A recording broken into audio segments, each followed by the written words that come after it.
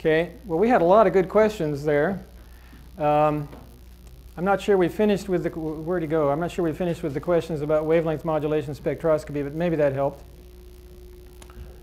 Um, now laser-induced fluorescence, which probably most of you know all about, and I'm preaching to the choir. But I have a picture. I have a picture I, I can guarantee you have never seen. so I want to talk a little bit about the basic equations, talk about uh, short pulse LIF, calibrated LIF, planar laser-induced fluorescence, and then PLIF with fuel tracers. So LIF is a resonant technique. It's spatially resolved. Pulsed for combustion applications usually. Linear technique scales with the irradiance. Used mostly in the visible and ultraviolet spectral regimes. I think on the first day I explained that if you try to do it in the infrared, there's so much background radiation it can, it can hinder what you're trying to do. That's the nice thing about the ultraviolet. All that thermal radiation, you know, Planck kind of stuff is gone. Often it's narrow bandwidth. It's a background-free technique, and you got to love those. It's difficult to make it quantitative, but you can do that. So I showed a picture similar to this before, but now I'm going to complicate it a little bit. So we're, we're looking again at a molecule in the X state and in the A state, and we talked yesterday all about what causes these structures. Okay, now we're going to tune a laser, process A. We're going to have the laser absorbed going from this lower level up to that excited state. Once it's in the A state, it can stay for a moment because there is a fixed uh, fluorescence lifetime. During that, uh, what?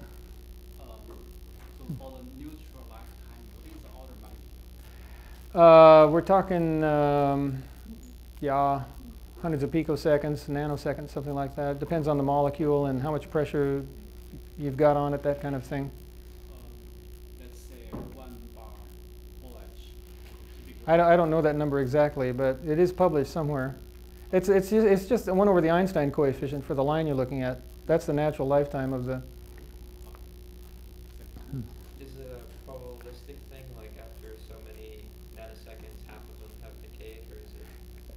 It? The question is, is it a probabilistic lifetime in the sense that it's a half-life or something like that? Yeah, they don't all suddenly cascade down. In fact, we talked about rate equa we're going to talk about rate equations again in a minute. It's, it's a rate equation solution you can take with an A coefficient in it. Yeah, you know, that's one thing. We were talking among the, uh, among the faculty the other night, we were talking to each other about these kind of things. And I'm not, I guess, I'm not like a wild detailed person. I can't remember exact numbers for things so much. I, I, it's like I'm not going to worry about that. I'm busy figuring out other things, and I know I can find that number in the book somewhere. So sometimes I'll forget a number, like what's the A, what's the A coefficient for OH? I should know that. I did used to know that, but you know, I like I allow my brain to eject those things because I want to learn some new. I want to understand some model or something like that, so I don't worry about remembering them because those are the things I know I can find in a book. But uh, yeah, the, the other faculty think I should know all those numbers. So I apologize. I don't. Anyway, during that excited state lifetime, other things can happen. And one of the things that happens is it's redistributed across uh, vibrational rotational levels up in the A state. So we get what we call a, an upper manifold. There's a whole collection of these uh, states that are populated once we've uh, pumped, the laser, pumped the molecule up there. Once it's up there, though, it can also give off energy to collisions. We talked about that. That's called collisional quenching. It just has to have a collider molecule. And they don't actually have to collide with each other. They just, a near miss can cause it to, to lose its energy. But the molecules remaining in the A state, okay, can relax back to the X state, giving off light, which is process C. The point being here, if you look at that picture, you can have lots of transitions. So there's not just one emission line from the A state. There's actually a lot of emission lines from the A state, even though you pumped just one line. So people can take advantage of that process. You can separate the LIF spectrum from Rayleigh scattering, right? You really don't want to have to stare at the laser wavelength there. The laser can scatter off of surfaces. It'll Rayleigh scatter. If there are even little particles around, it'll be scattering. You don't want to look at the laser wavelength. You can, you can uh, put a bandpass filter in front of the camera if you're doing PLIF uh, and look at a different band. So one thing that's popular is to pump uh, a line in the 0-1 band, right? That's a vibrational band, uh, and detect in a completely different vibrational band because thanks to this energy transfer in the excited state, that will happen. So that's a good way to get rid of some noise. Fluorescence quantum yield is usually pretty low, and when you do PLIF, you typically have to use an intensified camera so that uh, you'll be able to see it. We were just talking about uh, uh, the old-fashioned way of doing things. Um, people initially made LIF measurements at single point, as shown here. It wasn't really single point. There was a sample volume defined by the lens and the laser beam, but it was close to being a single point. You can still use those, uh, that approach if you want to study a spectrum, and we were just talking about that. There's actually um, I, I, when I, now that we talked about it, I realized I haven't seen this in a long time, but in the 80s and the 90s, people used to do detailed studies of spectra, and it was part of how they learned where do we want to look. If we want to look at temperatures and things like that, they would study the spectrum, and they would do it this way. They would scan the laser, that was called an excitation spectrum, and then, then they would look at the, the fluorescence spectrum as a function of when they pumped and so forth. Uh, and in fact, I, uh, I once had a visit to the University of Bielefeld in Germany where we used a very short pulse laser and we had a streak camera. A streak camera is very fast. It'll, it'll, it has resolution on the order of picosecond. So in, with a streak camera along one axis you'd have the wavelength and then in the streak you'd look at the lifetime of the molecule, right, in the different lines and things like that. And you could actually watch how it would populate one region and then lose population and so on. And, and people used to get very, very nice spectra doing that kind of work, but for some reason I haven't seen that since about, since the end of the 1900s. It's possible to make LIF more quantitative if you measure the quenching partners with something like Raman scattering, for example. People have done that. I'll show you an example of, of that kind of work when I talk about Raman scattering tomorrow. So let's do a little bit about the basic equations. And again, we use this oversimplified two-level model. When we talked about the uh, equation of radiative transfer, we talked about these rate equations here. This is how people typically analyze LIF, or at least they used to in the late 70s and in the 80s. And that's what all these things are. We'll just go back there. This is the uh, population of the M state. This is the rate of the excitation from the M state. This is the population of the upper state de-excitation rates, stimulated, spontaneous, and quenching. It's common to assume that uh, the upper state is in steady state. And why is that? It's because, um, you know, a, a YAG laser, a, a, dye laser pulse from pumped by a YAG laser, the pulse will come up and look like that, right? What the argument is that, that these state-to-state uh, -state transitions are so fast they will just keep up with this pulse. And so at any one point in that pulse, that we'll just assume that everything is at steady state. That we used to do that to try to make things simpler. Then you could just say this, that the excited state population is given by that. And, and so this is, this is the rate at which we populate it. That's the absorption rate, and that's a, that's a loss rate. Hmm. so those molecules, once they've been pumped up there, emit into 4 pi steradians, okay? So the number of photons per unit volume per second is going to be given by that. The number times the rate at which they're emitted. And then this is the uh, uh, power per unit volume. That's the energy per photon, right? So we use those expressions So to get the total number, that, that's per, uh, for, per uh, molecule. To get the total number, we have to take the uh, uh, density times the volume, and, and so you get that. So you end up with this expression for the fluorescence uh, yield, it was called. So that's the fluorescence signal given by these terms here. And, and this omega over 4 pi is the fraction of the total emission. This thing is going to emit in a, in a torus all over the laboratory. And, uh, and so we're only going to collect part of it. That's the fraction of it that we're collecting. And people used to use this uh, kind of an expression in the past to, well, for example, uh, I had a friend who was one of the very early adapters of planar laser-induced fluorescence imaging, and, and he had an, an analysis that people liked a lot where he would, he would talk about you know, the camera chip. That's a cool thing about optics in case you were never taught that. Optics can go two directions. So in this case now we can talk about the camera chip. You can actually in your mind or on a piece of paper map that over into the flame by going through the optics. Then now this chip's over here and he did a really nice model of per pixel how much signal do we expect to get how much are we going to lose, magnification, demagnification, so on, what's the signal level. It was a really nice, I mean, it wasn't accurate, but it was a way to look at uh, what's the best way to improve the quality of this signal because everything, he mapped everything from the object plane to the image plane, including production of the signal itself, which was a really nice way to be able to sit down and say, I think I need to boost this because that's the most important thing. So, and this is how people did that. So the fluorescence uh, signal would be given by the system efficiency the photons absorbed per second, the fluorescence yield, and the fraction collected. It's possible to get a decent estimate of V if you measure the beam diameter and you work out the overlap of the collection optics doing exactly what I just described. You, you start from the sensor and, and map it forward into the flame. That tells you how big the sample volume is. Yes? Do I remember the name of that paper and the author? Actually, Uh, he never actually published it. He would, he would present that when he would go talk to people. And it, it, was a funny situation where uh, he had it all written out on a piece of paper on the desk. And, and when, he, when he left the talk, he smashed it up and threw it away. And some people ran down to the garbage can and pulled it out. Phil was like that. I won't tell any stories. Maybe tonight, if you want to hear a story about Phil Paul.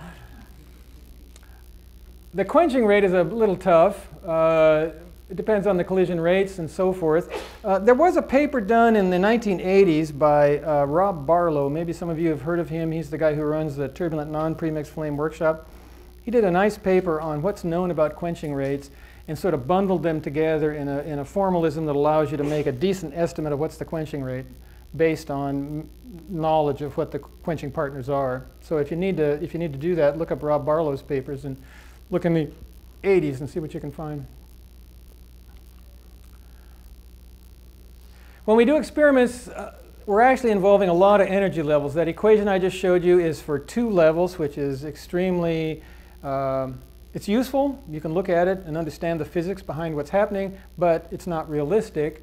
The only case I know of where you can actually model everything, you know, I was talking about the fact that you can, you can pump in the, in the 0, 1 and detect in the 0, 0. How do you model all of that energy transfer and emission? It turns out there is one place where they do that. Uh, the University of Bielefeld has this code called Laskin. I don't, I don't know if they've ever shared it with anybody, but you might be able to talk them into it. Um, it's like a chemical kinetics code, but instead of doing chemical kinetics, it uses the, the photon interactions and all of the energy transfer within the excited state and the ground state and so forth. And so you can like model the spectral behavior and I know they have it for OH, um, and I think they have it partially finished for other molecules like NO as well. So that's the only place I know of where people try to do detailed modeling of all of this that goes on. Saturated fluorescence, well, uh, we talked about saturation in lecture two. You have to use very high laser intensity to, to uh, uh, drive the, the stimulated rate It wants to dominate over everything else, and then you get a different expression. It's not possible to, okay, I, it's not possible to, to absolutely saturated transition, although you can make it behave like a saturated transition. And it's because there will be these places where you, you, get, you fall below the saturation limit. Picosecond, you can use picoseconds. Uh, there's, there are different regions of uh, um, pulse widths. And, and in the picosecond regime, pico is 10 to the 12. The, we haven't said this yet, but uh, there is a uh, time bandwidth uh, product. It's a Fourier transform between the two. So if you want a short pulse, you have to have very broad bandwidth. If you want a, a narrow band pulse, you have to have a very long pulse. Wait, did I say that right? Very short pulse has to have very broad bandwidth. Uh, if you want narrow bandwidth, you have to have a broad pulse. So in the picosecond regime, you end up with a bandwidth that, that sort of is, is just a little bit bigger than a normal absorption profile. So that's kind of nice. It's, it's good for spectroscopy. So here's a case where uh, if you tune one of those things, and this is from Bielefeld, this work, you can, uh, you can hit one line. The trouble with the femtosecond things is you could accidentally hit lots of lines. This can hit one line, so you tune that to where you want it. Here's the pulse. And then you can, you, if you have a fast enough detector, notice that this is uh, 3,000 picoseconds out here, so it has to be pretty fast. Um, if you have a fast enough detector, you can catch this decay. And that decay actually is the quenching rate in the environment that you happen to be operating at that point. So you don't have to know now what, who the colliders were because you've actually just measured Q. But the other thing is, uh, if you extrapolate this curve up to when the pulse hit, that's a quench-free LIF measurement. So that helps. You can just get rid of Q by doing that, but you need a picosecond laser. Says They aren't that hard to come up with now. You can also calibrate LIF. People calibrate lots of different ways. Uh, engine people, they, will, they like to use fuel tracers, and so what they will do is they will just feed a known amount of fuel tracer into an engine without firing it, that's just called motoring the engine, right? So it'll compress the mixture, it'll give you a, a, realistic pressure and temperature, and then you take a measurement there. You know exactly how much of the tracer you put in there. And so you can change the conditions in the chamber, the pressure, the temperature, the uh, concentration of the tracer, and make a full calibration matrix. That's quite common. Here's something that we did in Colorado. We calibrated LIF with cavity ring down spectroscopy. Uh, and it doesn't look great, I realize that. Here's the flame equivalence ratio, here's the OH concentration, but it's an absolute measurement of concentration. Um, and then, so let's look at this. We were looking at three different lines, okay, uh, in cavity ring down spectroscopy, and the green line is LIF, okay, and then the gray area is actually uh, that code called premix, which is part of ChemKin. So premix isn't all that great by itself. I mean, this is, this is like looking at all the serious errors that are involved in these things and trying to be honest as possible about it. So the LIF was calibrated only at phi equals 0.96. So we calibrated, so that would be that one there. We calibrated LIF with uh, uh, these ring down measurements and then compared LIF to the ring down measurements into uh, the, uh, the premix code. And you see that the calibrated LIF tends to follow the, the trends of, of the code and the ring down except for up here. And that's why we calibrated over here. Let's see, do I talk about that somewhere? Yeah, the uncertainties are caused by flame fluctuation and temperature uncertainties. Um, the calibrated LIF agree with premix fairly well, but uh, cavity ring down had a problem over here because of other hydrocarbons. That's, that's uh, something you don't see so much with LIF when, when you're sending the cavity. This cavity ring down is an extremely sensitive measurement, and it started to run into other absorbers when, when it went rich. So if you end up wanting to use cavity ring down spectroscopy to calibrate LIF, you should do it lean because then the, uh, the things that interfere with your calibration will be reduced. What's the level of error you get, like uh, accuracy with the calibrated uh, LIF? Well, you can see these uncertainties here. They're fairly big, so that's uh, uh from 3,000 up to uh, 4,500 in a measurement of about uh, 30, 30 537.50, so that's fairly big. But that's because we, we didn't really have a good handle on the temperature. And if you don't have a good handle on it, we just measured it with uh, uh, radiation-corrected thermocouples, which are not really reliable. And uh, so the problem there is you're looking at Boltzmann fractions that are swinging all over the place when you change temperature like that. So if you really wanted to get this nailed, you'd have to measure temperature in a more uh, robust way, like with CARS or something like that or, or use a thing where the temperature is much better known. So anyway, the, these uncertainties are high because of the temperature uncertainty. Other questions? Okay, PLIF. That's the very first PLIF image ever shown. I knew I told you I was going to have something you've never seen before. That's from 1982. Uh, and the authors are George Kychakoff, uh, Rob Howe, and Ronald K. Hanson. And, and I was in exactly that laboratory when that happened. Uh, but I'm not on the list, and, and I wasn't really part of it. I wasn't, I wasn't involved in this. So actually, I, I was thinking about it today since we, since we seem to have time. You know, the, some of the instructors and I were talking at breakfast this morning. All of us seem to be ending our lectures a little bit early, and then we realized that our lectures were all created for Tsinghua, and the, the, they actually had slightly shorter periods in Tsinghua, which is why we keep kind of ending up with a little more time. So I have a little bit more time. In a minute, I'll talk about PLIF, but I thought, well, since we have time, what was I doing in the corner of the lab while he was doing that? well, what I did is uh, I used fiber optics to do spectroscopy with. And, and I thought, well, maybe I should mention that. I mean, for some reason, I just I always forget about that because it's like, yeah, so what? But uh, uh, the idea with fiber optics is that you can go into something that's enclosed. You don't have to have big windows, right? So I did two things. One was with a, I had one fiber that came in, and see these things, you don't just stick fibers in a flame, right? Because fibers are actually made by flames, which means that it'll change its shape if you get it hot. So it has to be inside a cooled probe, which is an unfortunate aspect of it. But anyway, there's a fiber optic here inside a cooled probe, staring at another fiber optic inside a cooled probe. And you make sure these things are separated enough so that they're not disturbing so much the flow that you're trying to study. And then I used a, uh, a ring dye laser, like we were just discussing, that was frequency doubled to look at OH just by scanning across the line and measuring the uh, concentration. But I only did that in one location because I used that to calibrate LIF. And so the way that I did LIF was this.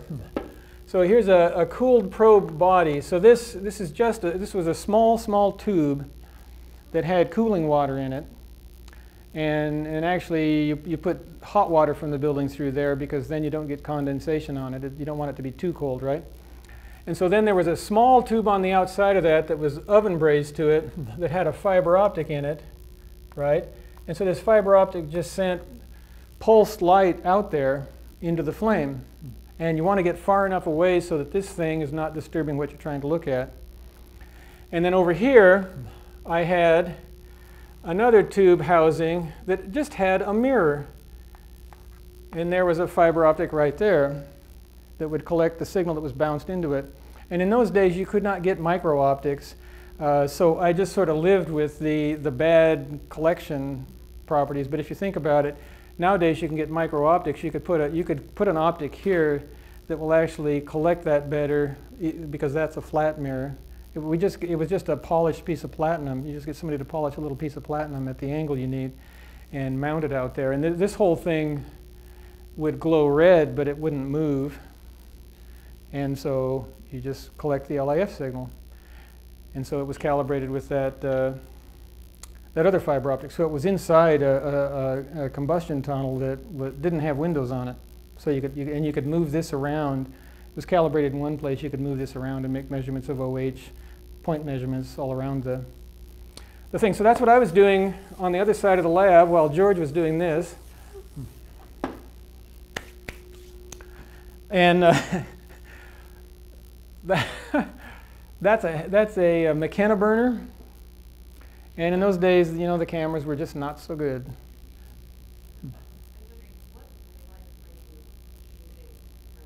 Uh, it was ultraviolet, so I was around 300 nanometers.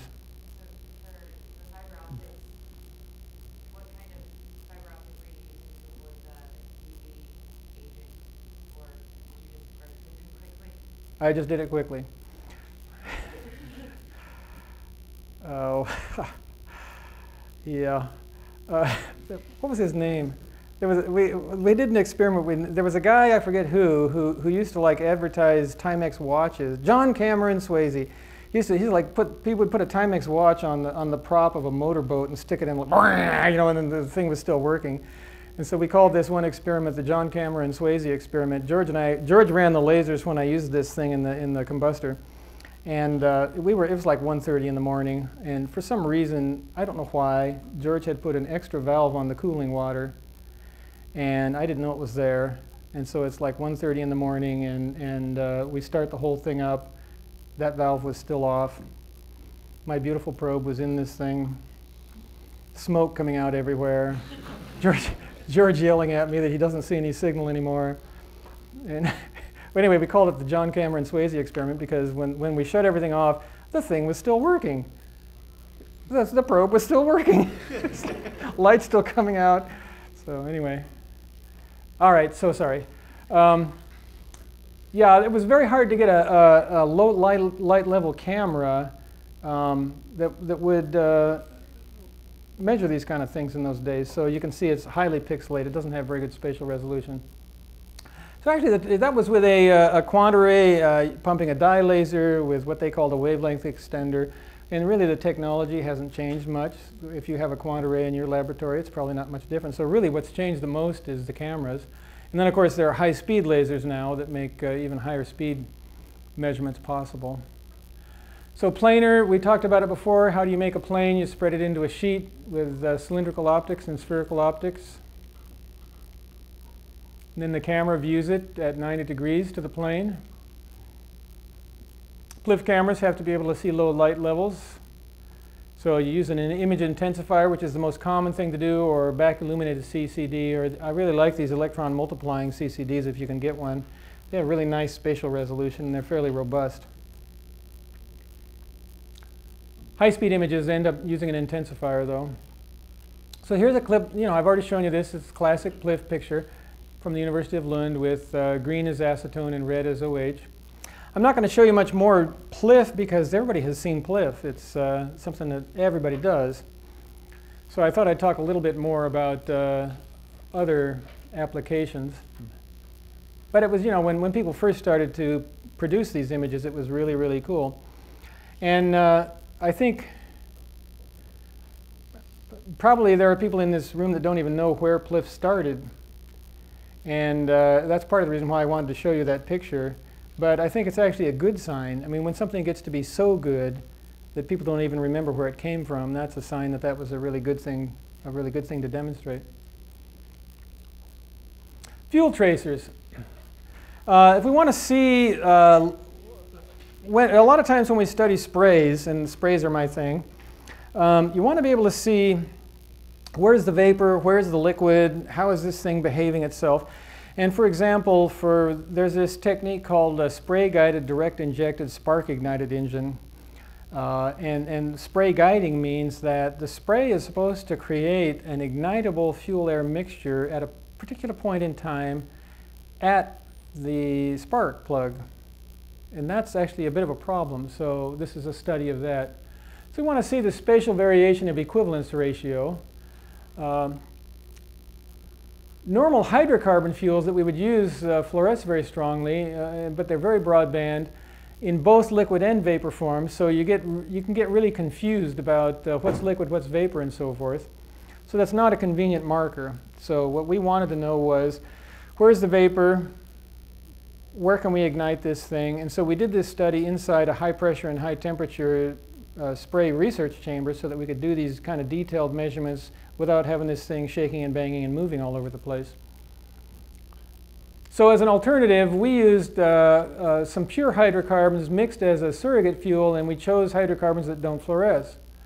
And then we chose three different fluorescent tracers mixed into the surrogate fuel. And so this is an example from a friend of mine uh, at uh, Chalmers. So this is the gasoline that they used. So the components were these in these volume percents, and those are the boiling points for those. And that was meant to imitate a gasoline, but it doesn't fluoresce. And then they added these tracers one at a time. So they had this, but they took 5% out and put in 5% of this. So acetone is meant to be a tracer for the low boiling point fuel, okay? So this, they removed 5% of the cyclopentane and put in 5% of acetone. So now they can look at how does the high boiling, or the low boiling point fuel behave itself in this spray, right? Then they went to 3-pentanone, which is uh, sort of medium. So you pull out isooctane and put in some 5% 3-pentanone. And then this meth methyl cyclohexanonane uh, for the, uh, the high boiling point fuels. So you could see where are these things landing as a function of pressure and temperature and so forth. So the injector is what's called a piezo-actuated hollow cone injector. Uh, the only thing to know about that, if you don't know what that is, it actually it just makes a cone-shaped spray. Okay, so it comes out in the shape of a cone. It's uh, there are some manufacturers who use direct injected gasoline now. Mostly they're German, like BMW and Daimler. They use this kind of injector. Most uh, engines don't use these because these are more expensive. So the first thing we did was, or I didn't do it, uh, Mats and uh, Jonas did it, but uh, the idea was to look at PIV and see how this thing behaves. Now notice first of all that there is no PIV, this is the tip of the hollow cone spray, there is no PIV up here because they knew enough not to try to do PIV in a place where it's optically thick. So down here it was optically thin. The, uh, the colors represent density of droplets. And you can see what's going on here. And it makes sense if you think about it. You have this, you have this sheet coming out like this. There are going to be shear layers on both sides of that sheet. And they're going to cause roll-ups. Seems kind of obvious in hindsight, right? So there's, there's a roll-up. Here's a little roll-up on the inside. Same thing over here, a little roll-up and a big roll-up. Okay, now we look at uh, Mie scattering and planar laser-induced fluorescence imaging. Now, these images did not use SLIPI, and so they suffer from something which is very common, which is that the laser light came from this side and went that way. This one scatters so much of the laser light out of the sheet that this one uh, doesn't get much laser light, which is why it looks weaker. It was actually symmetric spray. This is a very common thing that happens unless you use SLIPI. Uh, so that's Mie scattering. That's, that comes just from droplets. And then this is LIF. That comes from droplets and from vapor. So what you have to do is compare the, the scattered light from the fluorescent light and where, where there is no scattered light but there is fluorescent light, that means there's vapor there. And so if you look at this, there's actually a lot of vapor is ending up collecting inside the vortex, which makes sense if you think about it because if you look at it, you know, this vortex is going like this and rolling up that way, right? So this is where the gas is hot. So the, these things are coming down around that way and sweeping a lot of vapor into the center of that, which is bad news for the spark plug because it's hard to get at that, right?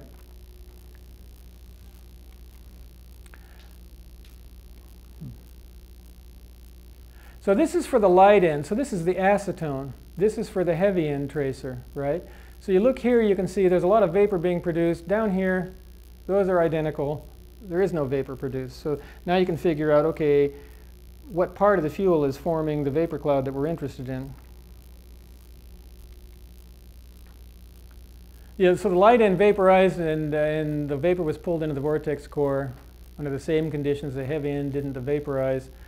Um, the placement of that vapor has a big effect on cycle-to-cycle -cycle variability, which that's one of the biggest problems facing spray-guided direct injected engines is this cycle-to-cycle -cycle variability problem.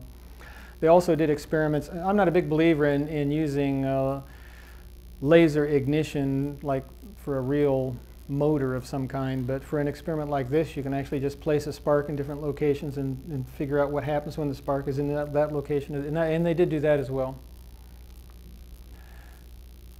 So here the Mie image is scaled and subtracted from the LIF image, and now you can sort of see the green is there's zero difference between the two images. Orange means the LIF was stronger, and blue means that the droplets are stronger. So blue means droplets, orange means vapor, and green means nothing. So you can, you can look at this, and so you, you look at the three different uh, tracers. This is the light end, the medium, and the heavy end at different uh, temperatures, and you can see that even at the lowest temperature, we're able to vaporize the light ends, but it's landing in the vortex. Way down here at 200 C, you start to see something from the heavy end, but it's also landing in the vortex. So the next topic will be lasers. So why don't we take a 15 minute break.